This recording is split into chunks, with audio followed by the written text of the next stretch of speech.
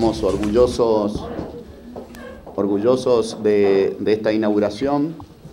de todo lo que se ha hecho en toda la red de salud de la provincia, en muchos centros de salud que son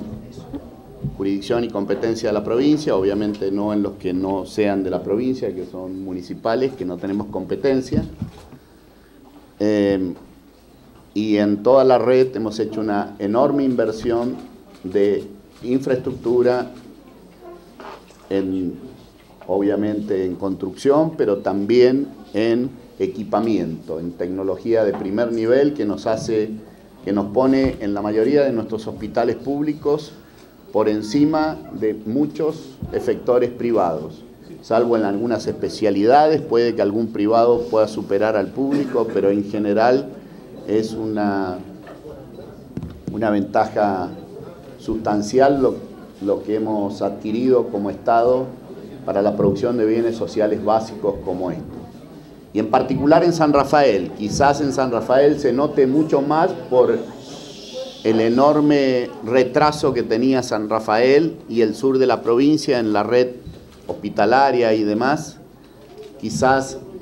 también en otros aspectos como en caminos,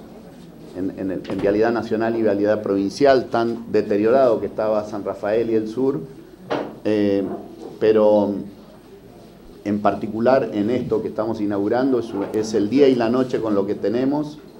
con lo que teníamos y la verdad que creemos que ahora hay que administrarlo bien y hay que mantenerlo y por supuesto aspirar a seguir creciendo, eh, pero que hemos dado un salto sustancial en estos cuatro, años. En particular eh, el, servicio que estamos inaugurando y la obra en general tiene un estado de avance del 95% y como dije en el discurso recién, eh, en autorizaciones, pero en particular EDEMSA eh, con la subestación nos han pedido 90 días más para la conexión y terminarlo completamente, pero no queríamos dejar de inaugurar hoy este,